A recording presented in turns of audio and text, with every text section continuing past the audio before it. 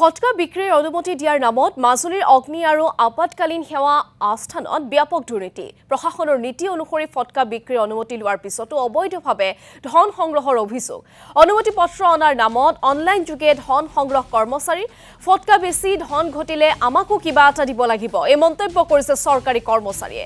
Online যোগে ধন লোৱা দৃশ্য বন্দী হৈছে কেমেৰাত। আমি দৃশ্যাংশ আপোনালোকক দেখুৱাইছো এয়া দেখিবলৈ পাইছে আপোনালোকে মাজুলীৰ দৃশ্য। এয়া ঘটনা মাজুলীত সংঘটিত হৈছে। ফটকা বিক্ৰীৰ অনুমতি দিয়াৰ নামত মাজুলী অগ্নি আৰু আপাতকালীন সেৱা আস্থানত এয়া ব্যাপক দুৰ্নীতি সংঘটিত হৈছে।